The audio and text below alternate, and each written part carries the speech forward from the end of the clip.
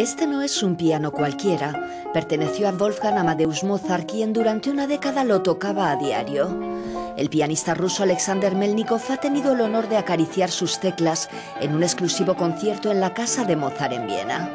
El piano ha regresado allí temporalmente por primera vez en 200 años. Fabricado por Anton Walter, el fabricante más famoso de la época, fue adquirido por Mozart después de trasladarse a Viena en 1781. Mozart utilizó su piano no solo para practicar, sino para los conciertos.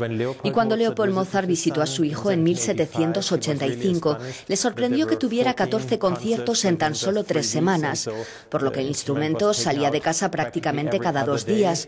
Era transportado por la ciudad a una sala de conciertos y volvía por la noche.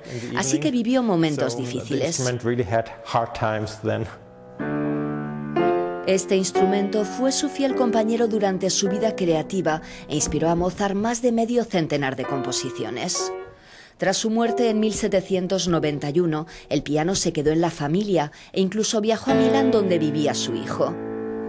A pesar de haber sido restaurado hace unos 20 años, el piano reclama las manos de un maestro para sonar correctamente. Podemos decir que objetivamente es un piano increíble y suena de una manera tan especial que puede hacerte llorar. El concierto se celebró en el sótano de la casa de Mozart. Asistieron 150 privilegiados venidos de todos los rincones del globo. El piano volverá ahora al Museo de Mozart en Salzburgo, donde forma parte de la exposición permanente.